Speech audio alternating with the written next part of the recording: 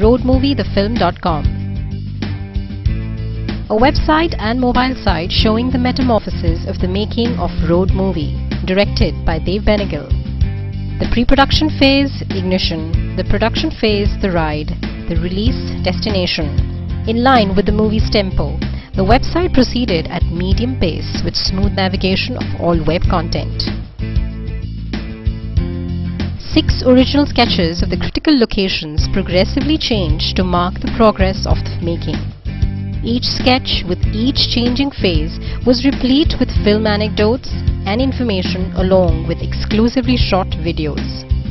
Let's see the pre-production phase of The Ignition, released in week 1, 9th September 2009.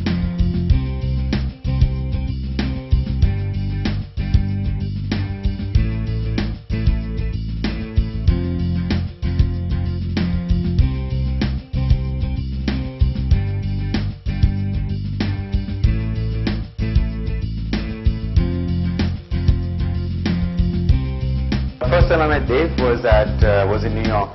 My film Manorama Six Feet Under was playing at a film festival there.